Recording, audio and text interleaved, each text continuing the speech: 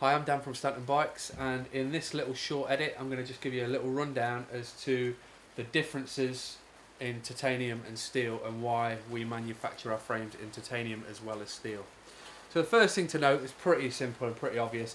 There's about a two pound weight difference between the two frames.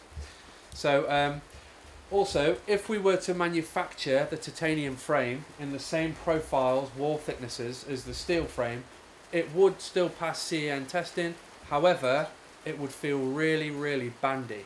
So the good thing about using titanium is that as you increase your wall thicknesses to stop it from being bandy, and you increase your diameters and you start to ovalize your tubes and things like that, every all every single time you do this, you're not only uh, putting strength in terms of uh, lateral stiffness into the frame or uh, encouraging stiffness horizontally in the frame, you're also building up meat in the frame. As you put meat in the frame, it obviously makes it stronger and stronger and stronger.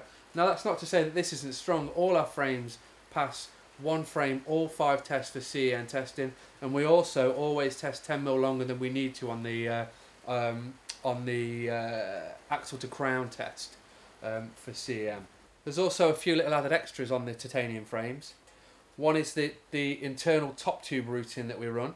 So you can see it goes into here, out here, into here, out here. And you can also silence the cabling on this tube. If you feel you get any rattling, bear in mind that the, in the way the English run it anyway, we run into this side and in through this side, which means there's a crossing in the tube.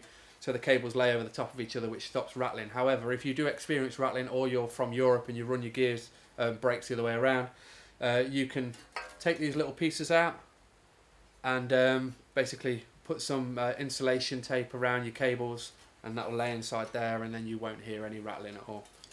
Um, other aspects on this frame, the stealth routing for the dropper post is still the same, still running out the back here, through here, into here, but rather than it running out the top here, it runs out the bottom there. So it goes in, through, out, uh, sorry, in and then out. And the reason we do that is because you can remove these ones, so it means then you can insulate it to stop any rattling and the angle out to your um, handlebars a little little neater. Yeah, so this is a swift breakdown of the titanium frames against the steel frames.